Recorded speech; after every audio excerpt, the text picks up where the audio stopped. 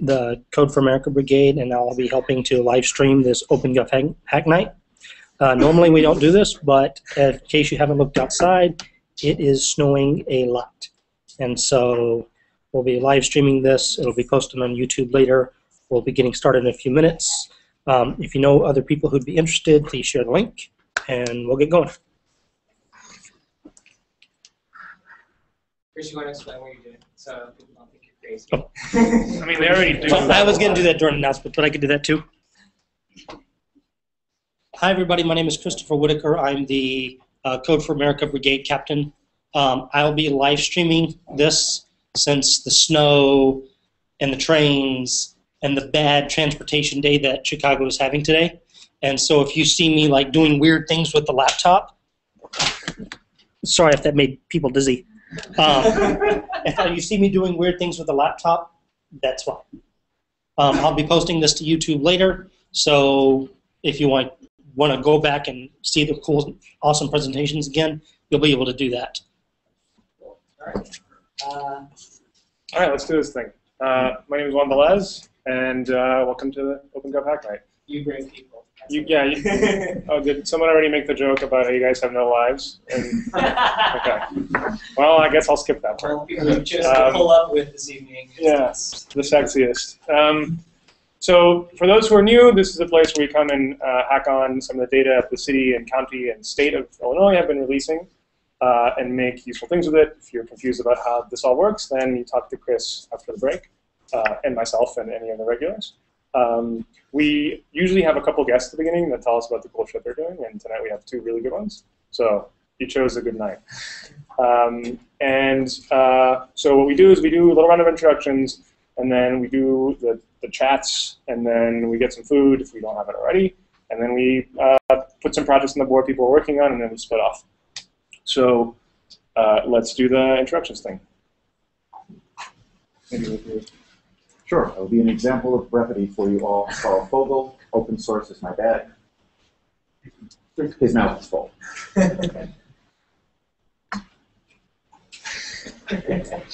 Um, my name is Brandon Willard.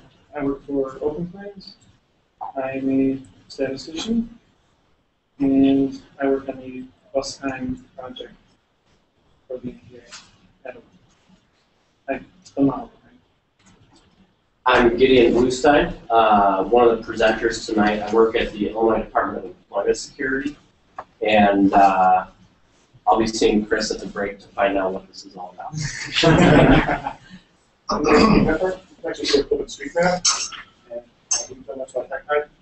I'm also the founder of a website called Phorio, which is a big database of buildings. And I can imagine if you probably only want to come here, connect to us, which is because For? PHO, Oh. RIO.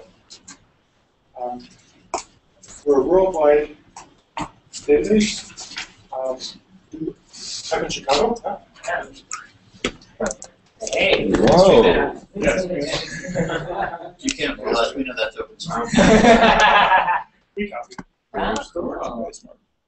And yeah, you can see pictures, all kinds of data. Um, our aim is to collect all the data possible on buildings, whether it's the number of steps in the staircase, or the materials used in the foundations, or um, the cost to of admission, or uh, the date the tower crane was dismantled, anything like that. You know, we have um, hundreds of data fields, and we uh, are trying to absorb as best as we can. Awesome. Your name's based in Chicago. Uh, we are. We're based in Chicago. Um, our, my colleagues are all in Europe, but the headquarters is here. Cool. You are the head. Yeah, from home. We were actually um, affiliated before with a uh, website called which is, you know, you know that, yeah, well, they, um, they pretty much alienated everybody who belonged to them. All their customers, their uh, editors, their employees, everyone that they So you're a refugee. I'm a refugee, yes, along with uh, our programmers, our founder, and our community. Okay. So Seems we much. He knows more about it. Yeah, my name is John Holwoods. I'm for the OpenStreetMap community. Um, yeah, I was new to Chicago and I wanted a little bit to contribute to my new neighborhood. So, I'm Noam. and I work for the man, and I'm spending as much volunteer time as I can muster, uh, which is not very much. Um, helping out with Civic Lab. The website there is civiclab.us.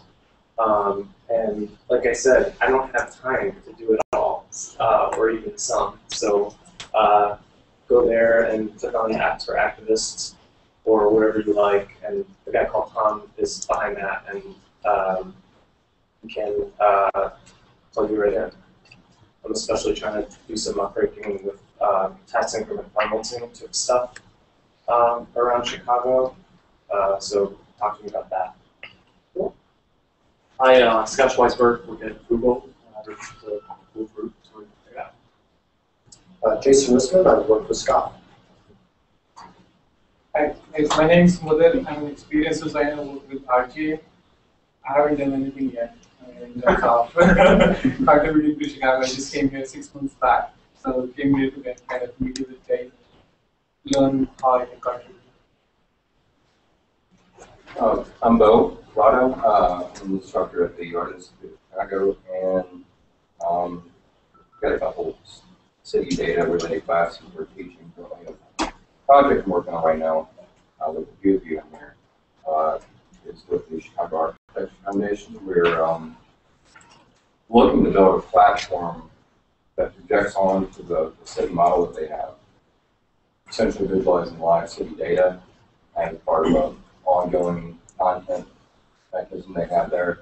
Um, and that should be getting started actually live in September. So if you have any interest or expertise, um, I'm talking.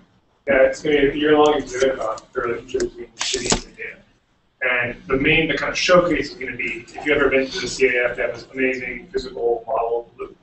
And so these guys are thinking about how you could actually project data directly on it. If you have any interest in urban data or 3D uh, data viz or any of that stuff, the, the whole point of the exhibit is to actually make it so people can project light, so people can plug into it and actually like use it as a platform. So You know, and we're looking for content and, you know, all the really great ideas that we talk about here every week. Um, you know, it's certainly stuff we want to have as content, showing what everybody does. So, Okay, my name's Randy Faxley. Um, and I'm an old guy, so I've had several careers uh, in uh, processing and programming geophysical data, uh, applying uh, models to uh, real estate data to price owned homes, uh, and then um, real-time uh, trading uh, commodities uh, and so forth. And then a lot of other stuff in between, and now I've gotten back into Python and open source and trying to figure all this out. I've basically got my stack, and now I'm looking for projects and how to do them. And uh, also, the uh, Chicago on on Knight uh, on the Knight application, I'm the Chicago. Kind of threw that out there to see an idea. So he's referring to this uh, competition tonight uh, Foundation is doing. Uh, what's it called? Knight News Challenge. Yeah. For open. Uh, And they do these every year. They've actually done them a bunch of times this year. This year, and uh, the, the, the theme for this one is open graph. So if you have any ideas you want to get some cash for to feed your starving children, then this is a way to. Maybe if you put Visual Chicago up in the in the search box. is it Visual Chicago? I think that's what I called it. This thing? Yeah, that's it. Cool. That's me and my wife. Oh, right here? And Oh, that's right it. No, up in the, that's me up there. That's that's the that's Rahm and Uh, Superintendent McCarthy, right? Or, police guy. Yeah. Cool. Because I want to I want to I want to take Gideon's data and the CTA data and the uh, videos and kind of merge them all together so that uh, uh, basically people who are a bit uh, old or decrepit or disabled can easily get around town better. Awesome. Well, we'll be having a breakout group to, to talk about that more. Um, just give you a little bit later. Sounds good. Uh, I'm Antonio Irizarry. Um, I don't have much uh, um, technical uh, talent, but I'm hoping I can uh, contribute some ideas and grab. My name is Will High. I'm a data scientist at ThoughtWorks here in Chicago. Uh, former physicist. I'm interested generally in statistical modeling and processing with Python and R, mapping, um, anything of that nature. My name is Michael Cassell. I'm a student in the University of Chicago. Sociology. Uh, hi, I'm Derek Eder. I am the co-organizer of this event uh, with Juan, and I'm also Development City, and I like to build apps with open data. So I'm Gene Leynes. I uh, am the founder of Chicago Data Science, which is pretty much me, but I've been doing data science consulting for the last year and similar consulting for the last, I don't know, 13 years or so. And um, I don't have the courage to call myself a data scientist because it's, uh, I call myself a data science consultant. And this, the, the distinction is, is that, uh, you know, I'm a problem solver, I'm a hack, I use R a lot. Um, but boy, it's a tall order to be a data scientist. so uh, anyhow, um, that's what I do, and I'm I'm really here to learn. Well, I'm just here to learn. Don't let their fancy methodology intimidate I'm also here to learn. Hi, I'm Lauren Ellen McCann. Lauren Ellen is my unfortunately long first name. And myself and my colleague John are from the Sunlight Foundation, which is actually based in DC. So we're going to be talking a bit about why we're here shortly. So And as she said, John Wonderlich from the Sunlight Foundation, thrilled to be here and learn a little bit from what you're all doing here. I'm Demond Drummer. I live and work in the South Side, and found out last week that you don't have to be a, a like a coder or a programmer to attend the hackathon. So It's a common misconception, but yes. Uh, but, uh, Rebecca, Sure. Hi, guys. Uh, I am. My name is Nick Judd, and I'm a different kind of hack. Uh, I'm a journalist. I write for a news site called Tech President, where we cover uh, technology and politics, government, and civic life. And I'm really interested to find out what y'all are doing. It just happened to be in town, so I'm not. Hi, I'm Shimoli. And I have worked as a designer before, but right now I'm studying at IIT and I'm doing my MS in Environment Management and Sustainability. So I'm here to learn and contribute as a designer. Roger Carter School of the Art Institute, so I'm a colleague out here. I'm kind of a hardware hack guy, a way of future. with the best last name ever. Hi, Douglas Pancoast. I'm a professor of architecture at the School of the Art Institute. But, uh, like building some data. Projects, inspiration. Okay, well, you guys. Hi. Okay, um, so my name is Paul. Uh, let's see, uh, the background is, uh,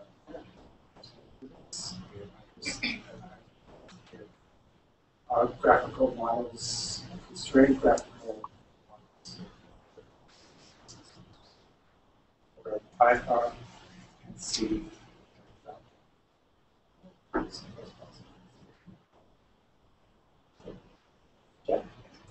Hi, I'm Joe. I'm founder of Purple Binder, which is the first comprehensive up-to-date directory of Chicago's social safety net program. And I love OpenGov, and I worked across from here until until like two days ago. Yeah, I'm, I'm not in the main. I'm in the main holding pen now. Yeah, he's left the fish bowls. and now I'm in. Yeah, I'm in the fence. the area. food plates that dropped down. So he decided he had to.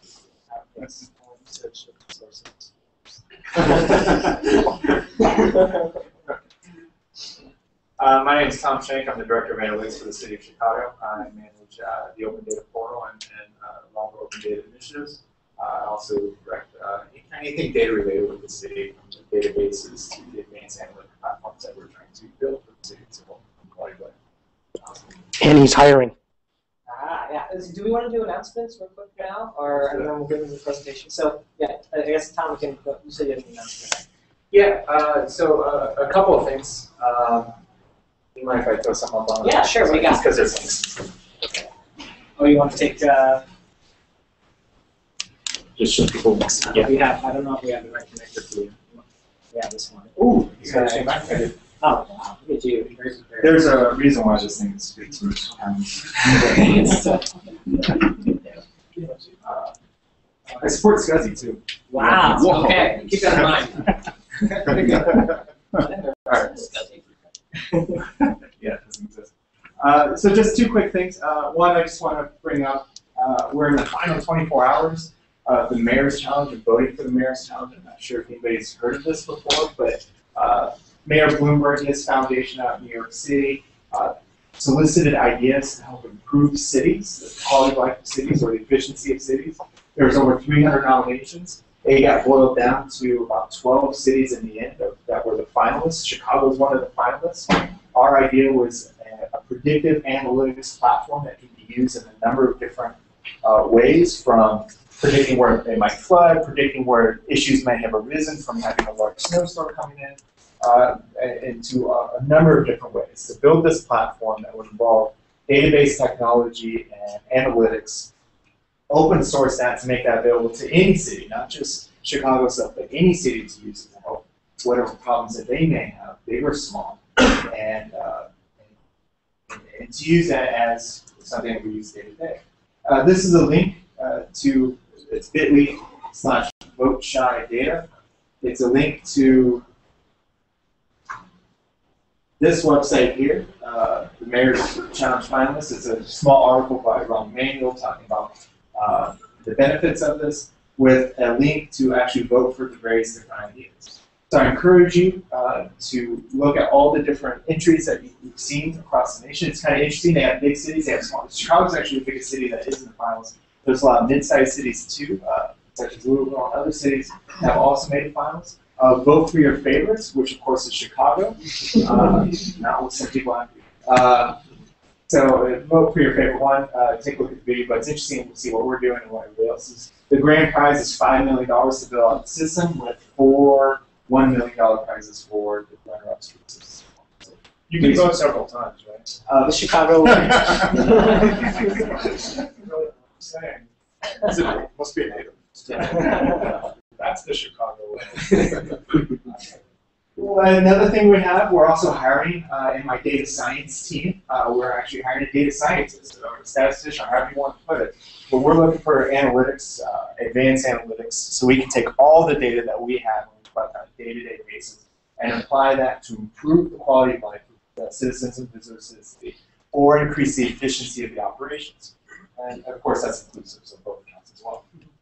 Uh, just a couple of highlights. Uh, the purpose is conducting sophisticated analysis of the city's public and confidential data within the data science team, uh, my team. So this will include data from the portal, but also data that we can't release because it's, it's a bit privy, such as 911 data, using that data to help improve quality of life for efficiency of the city. And, and with an eye on action here, right? It's not just about the statistical formulas, it's not about the advanced analytics, which is important as a ground basis, but this idea of developing an idea, developing policies from the statistical models as a data-informed decision making. Uh, so the responsibilities is developing the statistical models themselves. So we are taking a look at people who you know, understand sophisticated uh, statistical models, but also it's not just in an area, right? You're going to be dealing with crime. You're going to be dealing with streets and sand issues. You're going to be dealing with water issues. You're going to be dealing with a broad base of issues that span all of urban ec- economics, all of urban planning, all of sociology. It- it's a variety of different areas. We're looking at people that have a broad, a good sense of statistics, but a broad understanding and broad knowledge in a lot of different areas, or at least the capability of uh, tackling problems in a broad set of areas.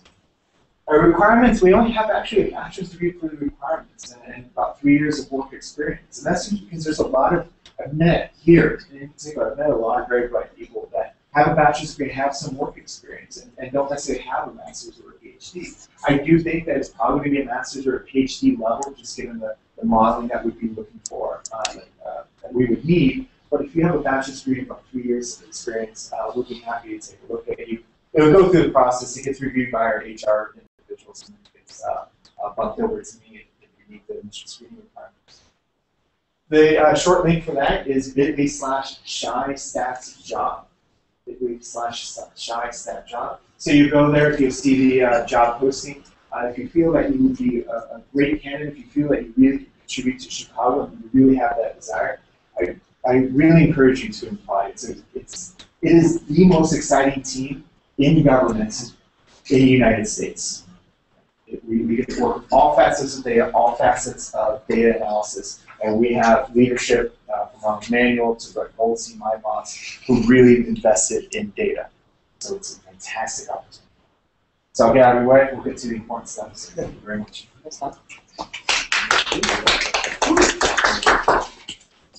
Uh, any other announcements? um, I have one, if, uh, if I may. Uh, there's a, a project that uh, Forest Gregg and I have been working on for about uh, a year now, uh, and we actually just released the alpha version of it last week. Uh, it's a tool called Dedupe. It's an open source deduplication and entity resolution library written in Python. It uses machine learning to basically take a big set of data, could be millions of rows, and find which, which, which rows refer to the same person or, or entity, location, that kind of thing. Uh, and it does it all uh, on your laptop. So we, normally this kind of work, uh, you have to send it out to some major, some big server that, that runs, you know, overnight or over several days. Uh, we use some, some cool tricks that we picked up from a couple different places uh, to basically make this tool. So it's uh, open source. Uh, we are very open to uh, contributors.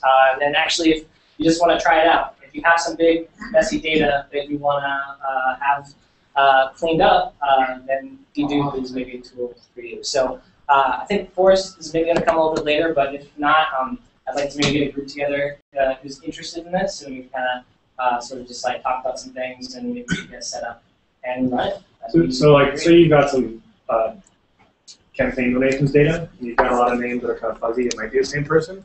This would help you pick out those individuals so you can actually make your thing.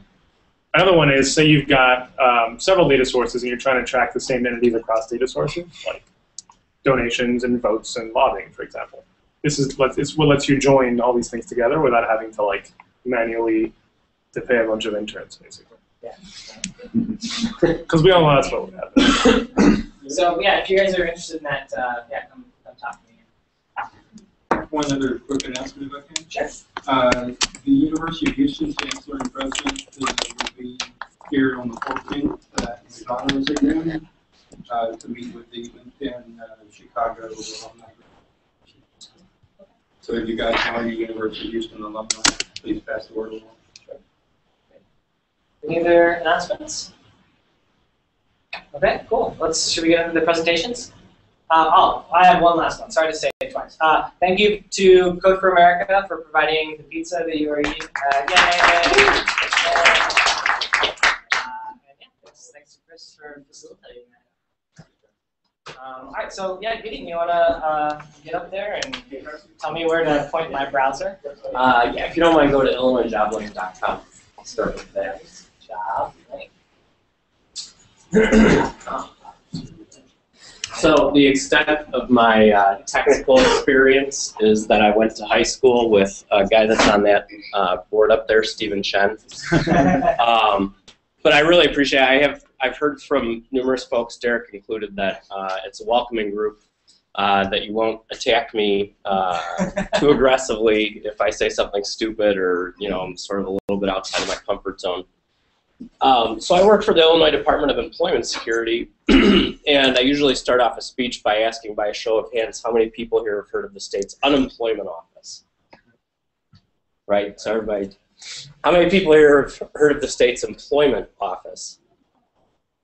Right? A couple of hands. Usually uh, nobody has heard of the state's employment office. And in short, I like to introduce myself as my job is to reverse that so that uh, more people, uh, on average, will know of our agency as the state's employment office as opposed to the unemployment office. Um, as you may have uh, figured out from our name, we administer the Unemployment Insurance Trust. So uh, if you qualify for unemployment benefits, we're the agency that you interface with to get those benefits. Um, I am not responsible for that aspect of what we do. What I am responsible for um, is basically any part of our agency that interfaces with the business community. And the thing I'm going to spend the most time talking about today is uh, IllinoisJobLink.com, which is the state's labor exchange. Um, so basically, it's just a job board. Um, but why does that matter to you guys? Um, well, hopefully we'll find some areas for how it matters and areas where we can work together. The um, the reason that I sort of wanted to start engaging uh, with this community and uh, and came out last month to uh, OpenGov Chicago, Yeah. right? Yeah. um, and gave a more formal presentation. Uh, it was basically what I want to do. We produce a lot of data, and we keep a lot of data. Um, some of it, which we by law cannot share, uh, because it's uh, individual uh, claimant information, um, their personal information. We can't share that, but in bulk, we can probably share a lot of data. In fact, we're tasked with creating a lot of reports and putting them out there publicly, sharing them with the federal government. And so what I wanted to do was basically um, come up in front of you guys, show you, okay, here's what we have. Um, here's where we'd like to get to in terms of service delivery. How can we get there? You guys are the experts. Is this interesting to you? Can we put together a group of people that maybe wants to work on some of this stuff and help me, sort of a neophyte in this area, understand how I can influence not just my agency, but also state government to be a little bit more um, accessible to, uh, to your community. So uh, if you don't mind, Derek, will you click on resources and go to IJL facts and figures? So this is just kind of a first sampling. Uh, as a job board, we have a lot of information. On average, we have uh, about 120,000 jobs, uh, all Illinois specific. Uh, we have uh, typically about 70 to 80,000 public resumes, so a job seeker has opted to make their resume uh, viewable. As an aside, I would mention if anybody here wants an ego stroke, post your resume up there. Um, as you probably know this, uh, many of you are in uh, fields that are highly sought after and have experience that's highly sought after. Um, I get calls from employers all the time looking for uh, folks with some of the experience that's in this room. So, um, but seriously, I do encourage you to post up your resume in there and uh, then give me the feedback. Tell me what stunk, what you liked, what you changed. Um, we do have the ability to make some of uh, the changes uh, to the system. So basically, these are reports that are available in just about real time. Um, if you go to like labor surplus and shortages, you can go either labor surplus or shortage, and then search by area. Go ahead and click on it.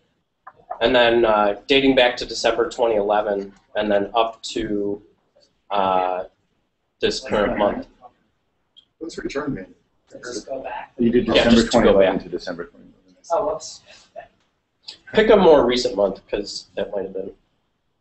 Oh, So if I go from here, what if I rolled it up all the way?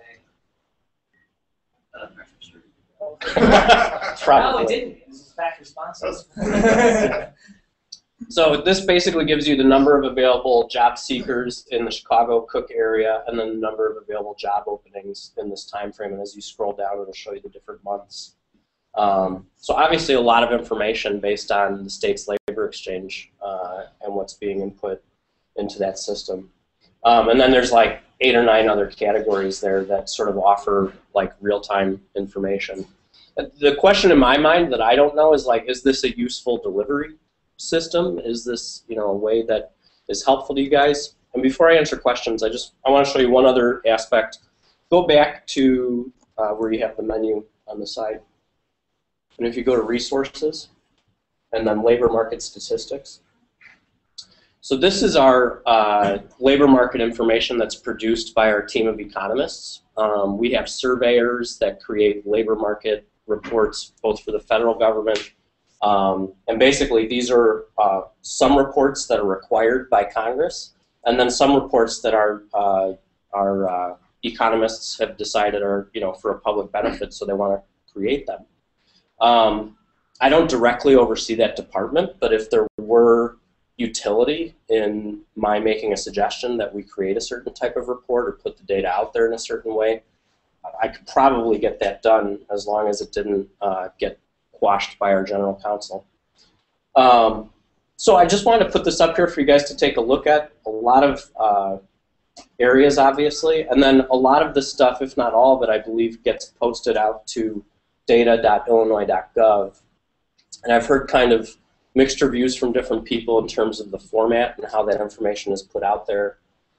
But I guess, you know, kind of to summarize, my main goal is to show you what I have access to, um, what I have a little bit of influence over, and then basically just start the conversation. Um, the goal, which I didn't state, I apologize, from my mind is really put together kind of a working group of people that maybe can help brainstorm, maybe bring some products um, out, I don't want to say to market, but out to the public using this data and in my mind, the goal is to help people uh, get jobs in a, a more simplified fashion.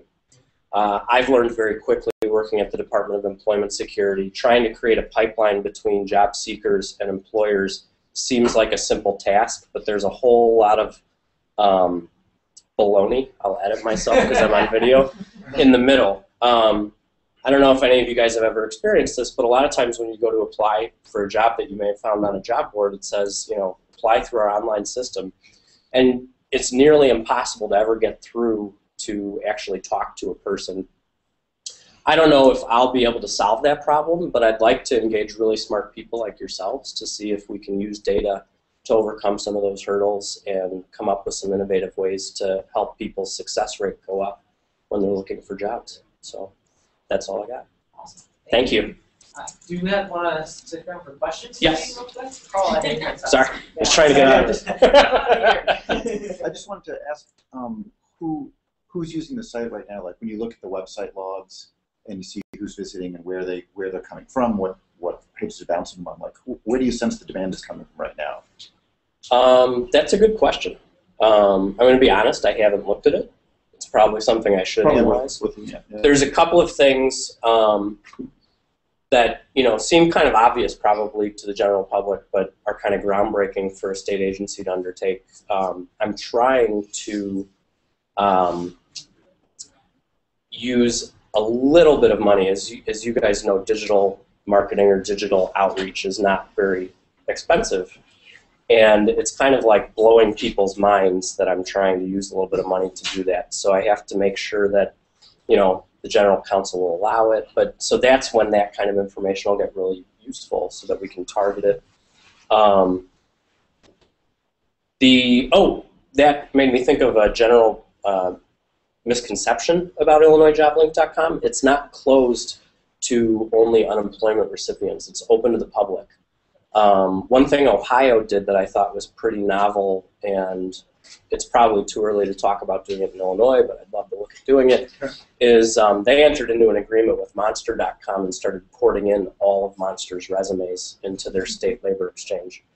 What I learned, another thing I learned very quickly is um, if you have the talent, the businesses will flock. So I was kind of, I came into the job quite honestly thinking, well, my job's going to be going out to businesses and saying, hey, we've got all these people, come use our system. And I think what I've learned is um, while that is still an important part of it, um, getting more job seekers into the system with a really diverse skill set and really um, sort of breaking that perception that it's just for the unemployed, I think will be a really valuable way to make Illinois JobLink um, sort of on par with, you know, commercially usable job boards. Uh, so do you have a, uh, frustration by the employers or by the job seekers? Like, how many employers have open positions in certain areas and maybe like these cases? Are there, what, what things things that didn't, didn't seem work? or- Because that's one of those things where like an obvious, start looking at why people, what, what tracks people are going on that's leading the wrong way, what things employers are looking for that's, or like not in that public that's good. That, that I think that would be really useful information. I'll convey a, a couple of frustrations from sort of on the job that, that relate to that. So we do a ton of veteran or veteran job fairs, and we have the ability with this uh, system, IllinoisJobLink.com, to basically pre-match um, and try to up the success rate. So you know, employer X is going to be at this veteran job fair. Let us know what jobs you're recruiting for. We will scan our system and specifically try to recruit qualified veterans that fit the job description. A lot of the employers won't even give us the job descriptions. So it's like, you know, we're offering you this, you know, no cost service that will up your success rate.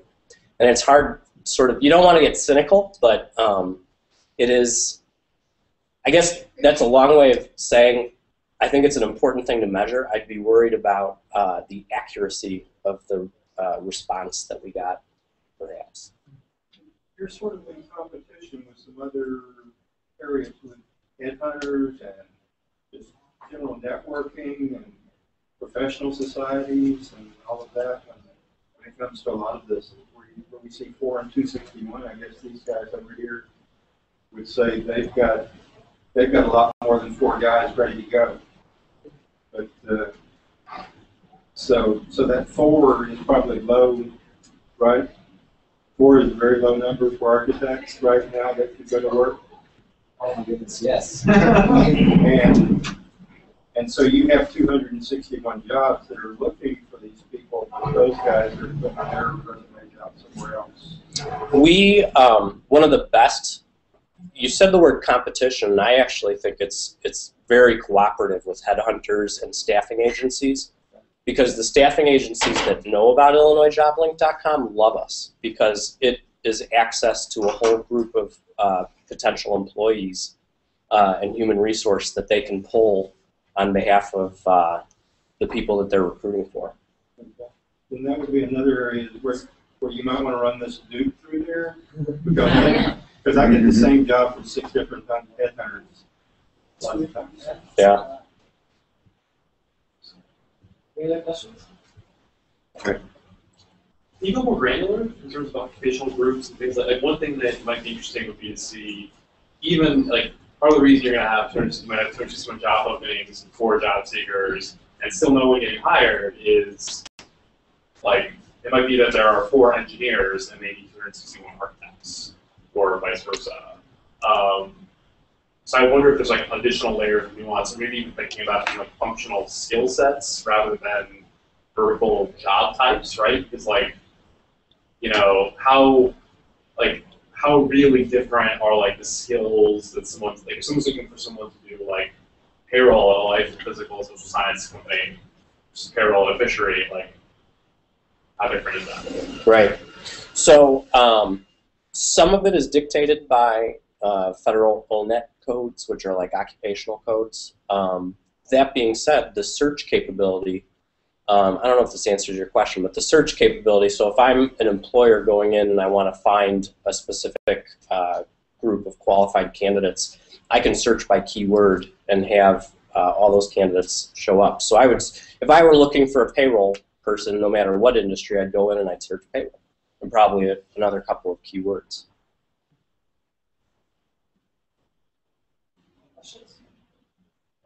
Now that I've put you all to sleep.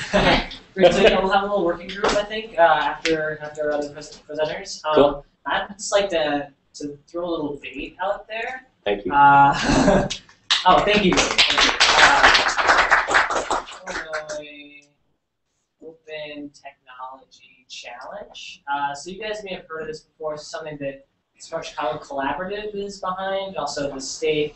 Um, essentially, the short is it's a comp- it's an apps competition, and one of the prizes is fifteen thousand dollars to work with, build an app that is statewide. And I believe that the data that we just talked about qualifies for that. So if you got an app idea, this is maybe a way to get paid. Right? And as far as I know, I don't know how many people are uh, involved in this yet. Um, so I mean, you might have a really good chance of winning. I'm glad you brought that up, and I would say this: making sure that we were within the boundaries of the bylaws of this competition. I'd be willing to help. You know, if there's more data that's out, you know, whatever I can do to try to help if that incentivizes people want to work with me. Yeah, right, yeah. exactly. So, anyways, we'll have a working group with that um, a little bit later. But I guess uh, we'll move on to our next presenters. Uh, the Sunlight Foundation. Not as too delicate to say. All right, so yeah, I think the best website would just be our homepage. This one, this is the best because- website? Yes, I hope that we can look back on this talk when we're here a year from now. We'll actually have a whole presentation to show you, but you're kind of at an interesting start point in the journey that we're going to be discussing. So, John and I are from the Sunlight Foundation. I'm the National Policy Manager, and John's the Policy Director. So yes, there are non-technologists who can come back, please. Um, and Sunlight is based in DC. We're a nonpartisan nonprofit organization. And for most of our history, we focused on the federal government to kind of give you the backstory to get to why, why we're here in this room today. Um, back in 2006, almost 2007, our founder, Ellen Miller, was exploring the role that technology was playing in terms of warping what we knew as journalism. And she started talking with other people in this space, and they began to realize that no, it shouldn't be an award for journalism excellence in terms of using technology to uncover uh, stories about government accountability and increased transparency. We should actually be creating tools and connecting with communities that would allow that to happen on a decentralized level. So over time, from that spark of inspiration, Sunlight grew into what it is today, which is a uh, 18-person labs team. Uh, so we employ technologists, and they're awesome, and they don't just sit at their desks like monkeys. They also actually work with our team, which is policy. And we work on a number of different issues, including money and politics, campaign finance, open data, and a whole suite of related issues. Uh, we have a reporting team, which does a fair deal of reporting, and they also train journalists how to use data in their own work to kind of emulate and expand on what we do. Have a communications and operations team, and a really stellar development team as well.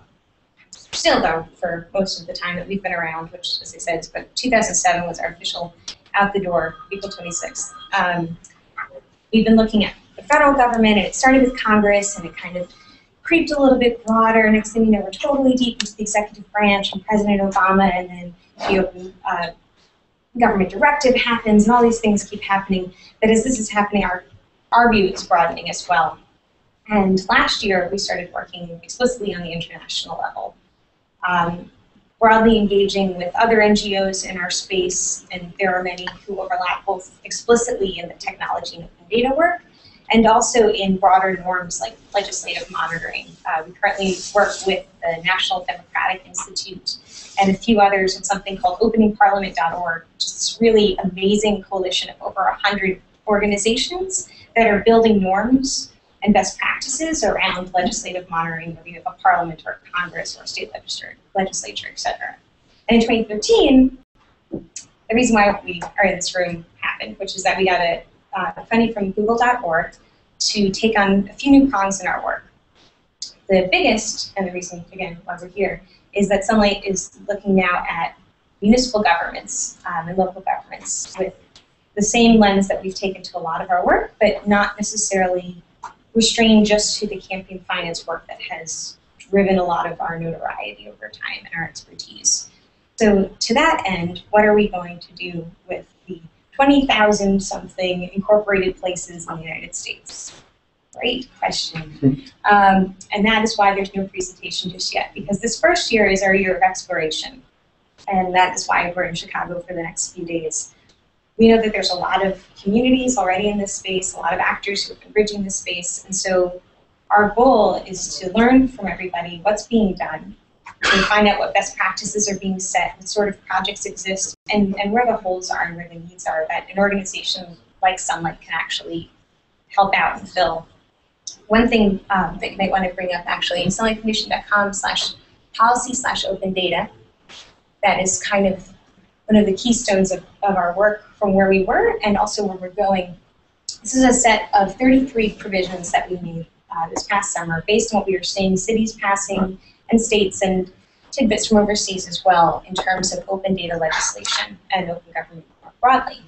We realized this is great that some cities and some places have upstart communities that are being really thoughtful about this. There's a whole lot of issues you can think about when you're trying to actually policy in place to administer open data and data transparency more broadly. So we tried to break down all of the different things you could be thinking about and then collect best practices and examples. And that's why each of them kind of drops down and they're all hyperlinked. And what we want to do as part of this project, for sure, is hack this list. We want to expand it. We want more case studies. We want to learn from the best practices that you guys are even setting. Um, I think from the learning experiences from employment data to lobbying data to everything, we can really improve upon this list. And also educate ourselves based on the processes that people go through just to get the data itself. We're not even talking at the policy level. So that's one thing that we're trying to explore what that actually looks like from our end. Um, we think it's going to be a lot of feedback from the community in terms of sounding back out generalized normative guidance. So I know I keep bringing up lobbying data because I know that's something that you guys have been absolutely wonderful with, with ChicagoLobbyist.org. And um, that's really piqued our interest, not just because of our history and lobbying data, but because of the relationship that Rahm Emanuel had in actually expanding that data and you guys bringing that up as well. And we want to learn how we can tell that story in such a way that it's replicable in other communities, or at least they can find the one thing that's the hurdle for them. So we're going to be hacking on this over time, and I encourage you, be critical, be supportive, find something that you don't think quite fits and get back to us. But we're not married to this list. We really want to think beyond this. And like I said, this first year is really about thinking in many different ways and talking and being a sounding board. And in our second year, we're going to be driving more towards advocacy. Um, ellipsis as to what exactly that ends up being. But you know, for as far as we're concerned, like I said, this is kind of the, the start of a journey. So if you have feedback, if you have ideas, if you want to nail me down, because I know I'm being as vague as possible and you're being very tolerant, um, I will answer questions and also follow up with us over email. But I just want to say we've been really impressed by what we've been able to peek at through the internet at the community here, and we want to learn from you guys. Yeah. Questions? Anybody? Are you looking to get your hands dirty with particular projects, or more just kind of exploring this? What do you mean by particular projects? Um, well, do you want to help, like, look at the TIF data? I think they want us to help them. Well, we want to figure out what you need to work better with the data. Okay. And that, if that's an area we can help, we just, so for example, we haven't just been sitting around for the first two months. Um, we actually just took a very different turn for us, which is looking at municipal bond data. And they're looking at new disclosure requirements, which is our sweet spot, the overlap of disclosure and open data. And dove into this hole because a, a reporter that we've been discussed, uh, speaking with tipped us off that there were some best practices here that were not being clarified. So we dive in. We're not going to be completely in the wind, and you know, it's obviously we want to follow needs, but we're willing to engage granularly, and we're also willing to engage broadly. I know that's like a whole lot. Like I said, this is me from the past, hoping to talk to you again in the future. yeah. Uh, it seems like one thing that Sunlight Foundation has been good at, especially with the um, merging of all the 50 states' uh, legislative information, um, you know, that would be something where it's really hard to imagine, but, you know, whatever the commonalities in, are, are in the 20,000 heterogeneous municipalities, you know, if there was any kind of standardized API for city data, that would obviously be really appealing. Uh, I don't actually know to what extent this is impossible. It seems like to a large extent possibly, right? Because first of all, you guys have to scale from 50 to 20,000. B, cities are a lot different from each other, from each other than states are. So I don't know. How do you plan on tackling that if, if you are, or obviously you don't have to do all 20,000 cities at once because a lot of them don't have you. Right. Well, that's actually a great point to bring up because you have the policy person here. I give you the policy lens, but a big part of this work is actually engaging through our labs team as well, and they're trying to answer that question. So districts are a hot mess in every single state, county, wherever, all over the country. It's very hard to get standards, but we are looking at what would a civic stack look like? What are the baby steps we can take towards I'm not going to use the word standards necessarily, but what it, what would it look like if we were to take Open States, which is the um, project, what's your name? Michael. Michael was just talking about. So just um, as a quick heads up, awesome Illinois is filled up.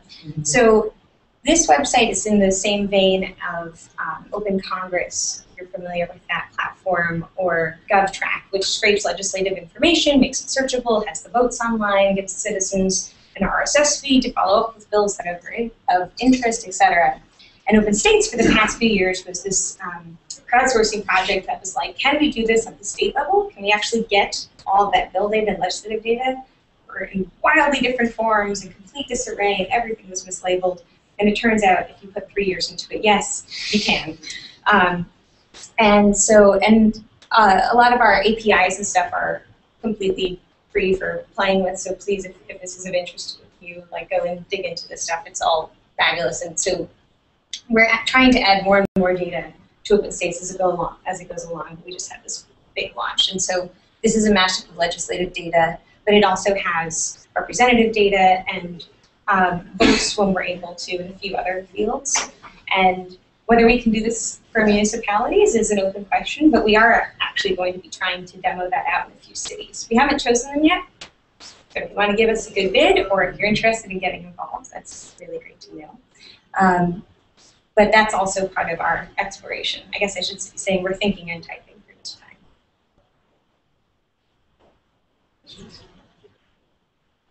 I have a question. Yeah. So if you had a municipality or like somebody at the municipal level, would you need somebody inside the government or could it be like a citizen collecting the data and then updating?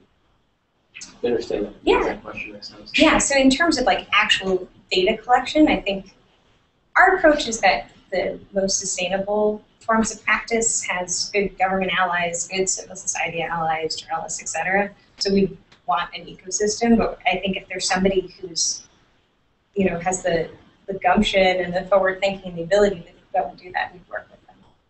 It really depends case by case, because I think there's also like the abstract notion of all the data, which is a kind of ambiguous notion, and then actually liberating specific data sets or working to clean them up. But we're agnostic. seems to me that one group that we've already talked to them, but one group that this I think has sort of a leg up in knowing what the commonalities between different cities are and when it comes to in data is one of the vendors that they all use, which is Socrata. Yeah, Right? So yeah. they have dealt with this problem. They've got crime data in San Francisco, in New York, and Chicago, and they're at least aware of like how those things are different. Right? So mm-hmm. I mean, does anybody can anybody think of another group that has like Right. been doing this stuff? I was stuff? a going to say the same thing. So Yeah. Yeah. Yeah, so they're definitely seem like a good group to, to least figure out. I mean, I know there's been efforts, like there's the Yelp data food inspection standardization project that uh, Code for America was trying to put, or has put together to try to come up with a standard for uh, food inspections across different cities. Uh, yeah, it's probably a huge challenge. Am I base in saying, what about CMAP? Um, yeah, I mean, I mean, don't they CMAP interview a bunch of different, uh, C, so CMAP, the, the group in, in, in Chicago. Yeah. That, yeah, I mean, they take a bunch of data from Illinois and County and the city of Chicago, right? So they, they've worked on combining those three municipalities together.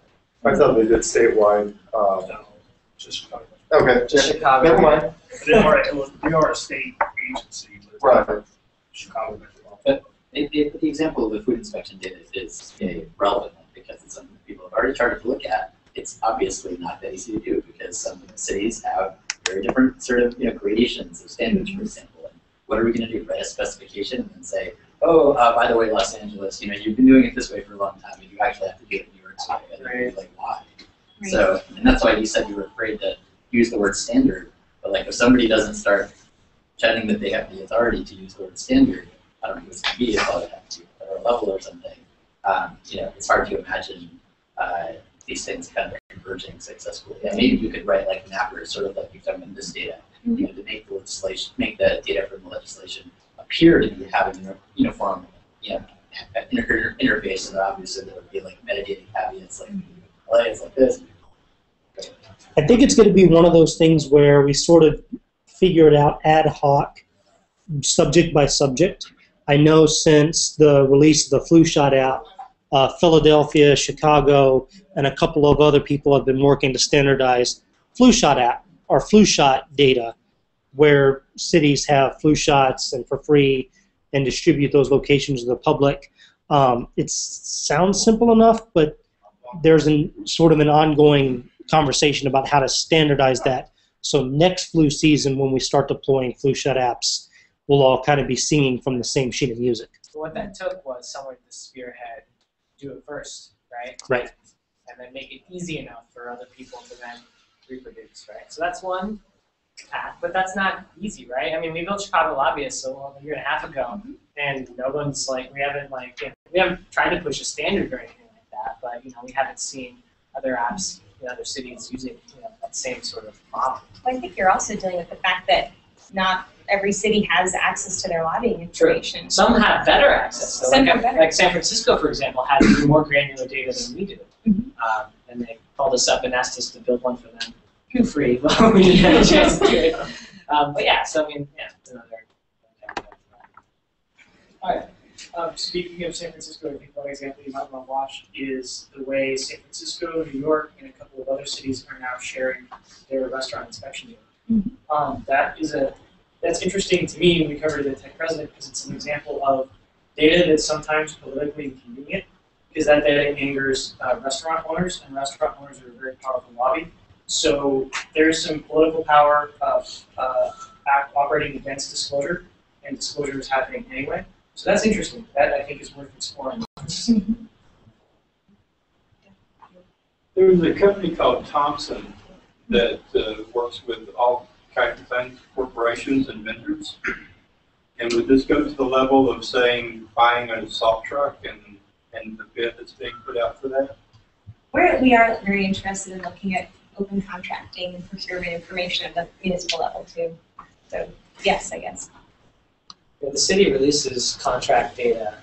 Uh, I think it's got it's it's a flat file, and so you see things like subcontractor one address, subcontractor fourteen address. Like it goes all you know, and there's like no standardization for that too. Well, I think that's it. That's an important when we're talking about standards because that's another thing when we think about what our ability to like support broad efforts are. Right? We're not gonna. We don't have paratroopers that can come in and be like, clean your data next city. Um, but wait 20 years. Sorry, that's our third year out.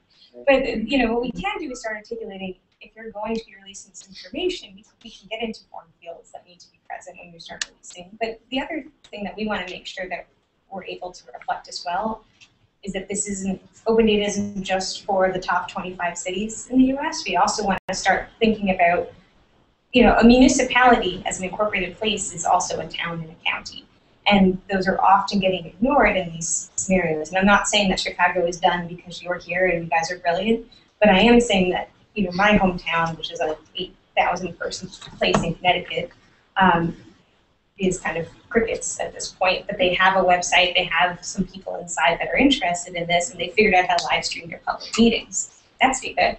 I want them to start taking that granularity and thinking bigger. So there's, I guess, the two components that we're really interested in is being able to articulate the dimension of what, uh, all the dimensions of this standards question and, and what should be being released um, based on these case studies and based on these awesome, the few awesome examples we have and a lot of the frustrations we have. And also thinking about what is the, not 101, but what's the way that we can articulate what we are all clued into for cities and towns and counties that are just on the cusp of understanding. Well, why go? Why go any deeper than county?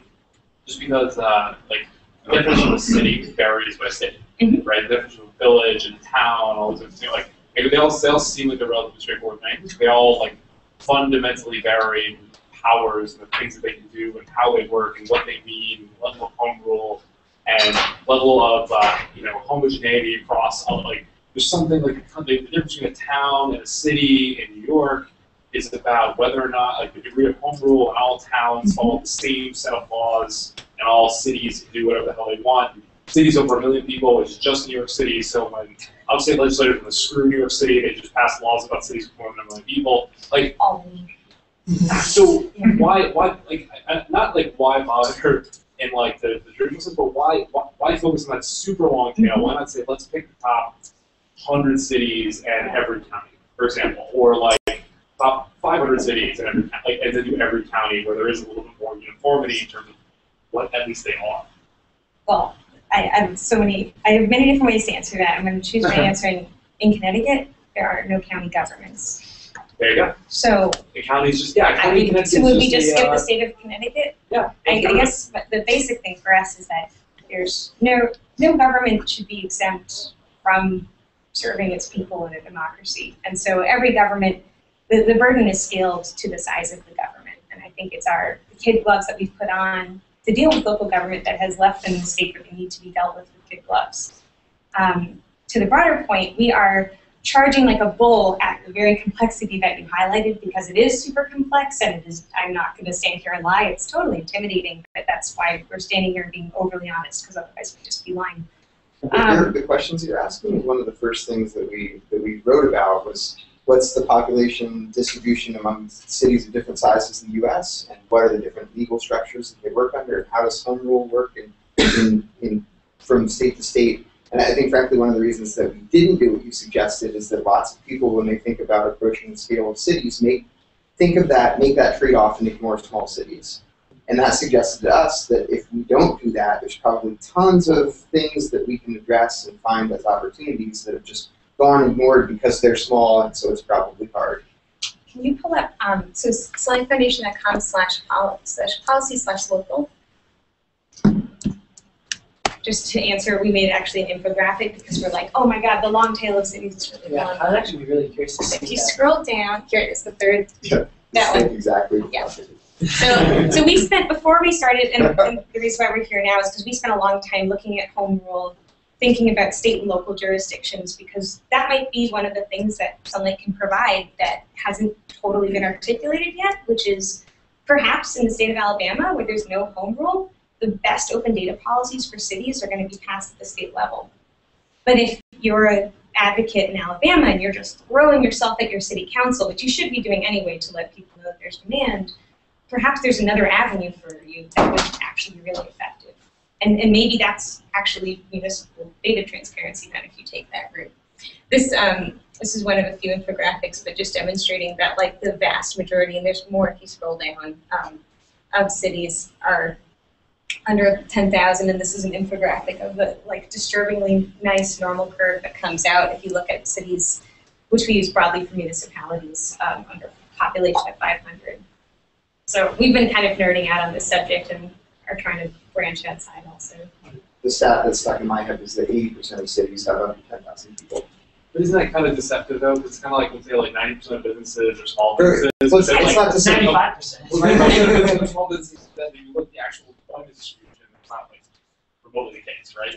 Well, this is actually goes, the Atlantic Cities just did a great article on some misunderstood census data in a similar vein because they say that urban areas are growing, but an urban area includes third ring, fourth ring suburbs. So it doesn't actually talk about the urban center of the city itself, which is growing, but the rates look very different. If you're like, urban areas are exploding, or if you're like, oh, the city's population has been growing over time.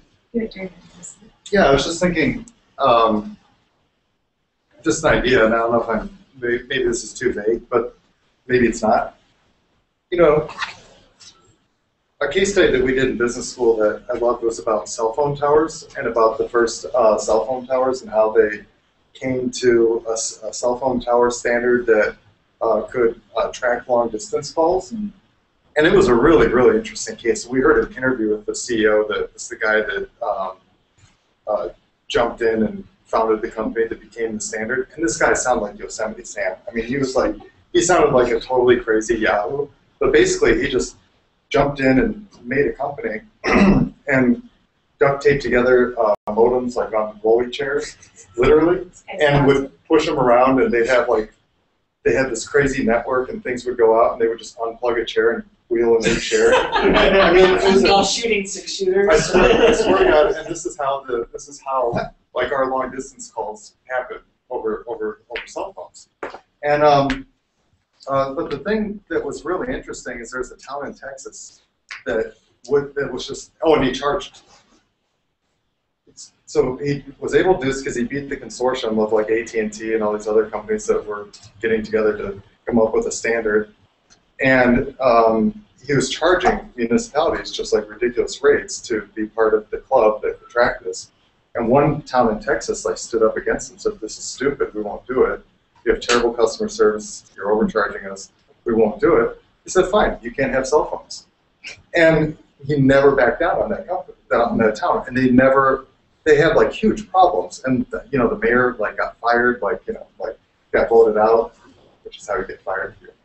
And the um, But so kind of sorry about the long-windedness of this, but it kind of gives me a, this idea like, what if you could somehow be a gatekeeper to funding?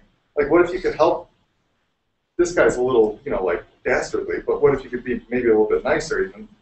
What if you help people apply for funds and you became like a de facto standard? Like, hey, if you want to, if you want to be a restaurant that's applying for grants, you want your your municipality could submit this data in like this kind of standard XML JSON format.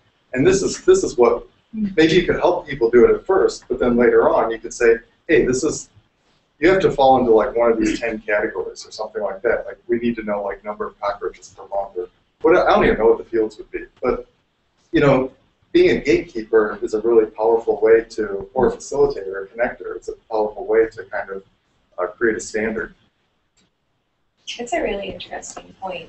I, you know, I think it would be complicated for us to do that with um, municipal governments, just because we need, as a nonprofit, we have to kind of maintain ourselves within certain boundaries. Yeah. Um, to a broader point, though, I guess this is an opportunity to mention that one of the other portions of the work that we're doing is a startup accelerator, um, and we'll have more information about that out in May. So it's a, not totally the same kind of standard setting gatekeeper, um, and I, I don't know if I'd use the gatekeeper and incubator in the same sentence willingly, but um, you know we are trying to think about people again outside of ourselves who are working on these issues and supporting where we can, and also again that's also why we don't want to write the best standards if you guys have done that already. We want to be able to broadcast that this is out there. It's kind of a Yeah, it was just that idea really, um, I think, is a powerful idea, and I don't know how it could manifest itself, but I feel like there's, I feel like there's something there. Any other questions? Uh, how far have you gotten into standardization? APIs, uh, about metadata standards, anything that's general enough to, you know, is there is there something, is there guidance that you've gotten so far on? So most of our APIs right now are about federal or state level data, but we're actually going through this huge process right now of improving our documentation broadly. And so that within the next, it, it'll definitely be by May, but what we're trying to do is they're already out there, they're already usable, you can already pick up and, and run with a lot of what we have. But we realize that there's a lot more we can do to, to broaden what you can build on top of our structures. So that's an awesome question that our team is actually working not a perfect answer, but at least it's a coming soon. No, it might be. Another, another way to say it might be that, that our technical teams got involved in standards work, usually insofar as their work happens to create a de facto standard. So the legislative scraping and downloading and, and reconciliation work for the 50 states legislative scraping project ended up creating a de facto standard for data sharing, and that so then people just started relying on it. Beyond that, I think they've been hesitant to, to try to be the standard bearer for broader standards work. Where are you on the requirement for electronic data filing? We support e-filing. Um, we support it in terms of state governments, local governments, national government. We've uh, supported a lot of the what was called the Save the Data Bill and a number of other initiatives that kind of roll up e-filing in general. And we've been targeting the Senate for not doing it. Okay, what's the word support mean? Support. Support means you support legislative action to make that happen? And we've written legislation um, and we've supported in terms of like advocacy emails and sign-on letters and such the efforts of others in that arena. All right, great. Well, thank you guys. Yeah. Um, so now's the part where we kind of can break into groups. Before we do that, we kind of like to put up on the big board uh, what things people are working on. Chris, would you mind? So um, the first one, which I think Chris uh, mentioned, is uh, OpenGov 101. This is something we've been doing for the last uh, couple weeks now. Uh, essentially, if you're new and you don't know what this whole OpenGov thing is, uh, or if like all of that is like, uh, Chris and probably Juan will be uh, uh, out, I guess, I'm not sure where, but you guys will be running a little session uh, to sort of give a, a brief history and overview of that stuff. Is there maybe a raise a hand who's interested in, in doing that? Okay, cool. So there's like four or five. So uh, Chris is your guy for that. Um, as for other projects, um, I uh, I think I was gonna begin. We want to get a group together to talk about uh, uh, employment data for the state of Illinois. So if you guys are interested in that, we can we can uh, form a group together. Um, any other projects people uh, are fooling around? Demon, Demon. Oh, come on. We're going to try to moneyball education outcomes in, uh, in Englewood. Um, anybody interested in education data uh, at any level, from student level to like network, CPS level, um, I'm happy to talk with you. Anything else? You mentioned TIF stuff for you, you were working on? Yeah, I didn't really like bring any breakout toys, but maybe I'll come back next time. Okay, yeah, or you, if you want to just share, and have a group and talk, if people are interested in TIF stuff. There's a guy who's doing, there's a guy who's doing a TIF layer on the ninth thing. He's got a layer. Is Corey or is that? Corey, yeah, I don't think he would. Okay. But yeah, uh, yeah. Uh, Chris, are you doing, the other, the transportation guy, are you doing anything? No. Oh, you mean me? Yeah. Um, yeah, I, well, I have an open source project for tracking, and it works off of OpenTripPlanner's, graphs. So it's basically like you have a street grid given by geometries, in this case backed by like GPS geometry, and you can like make this from an OpenStreetMap or something like that. And then you can feed it GPS observations. It does, it's a mixture model that asks whether you're on a road or off of a road, and it's a sequential Monte Carlo method.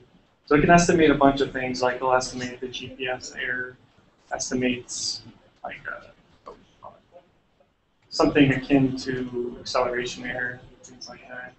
It's what's backing the uh, bus time stuff that's going on in New York. And I mean, the bus time itself is also open source, so Who's doing the bus time? Who's doing the bus time stuff here? doing The, the bus acceleration stuff here. Uh, Oh, there was a um, here at a meeting about three weeks ago that was pulling up. Yeah, that's right. The MTA's project, the bus time one for New York.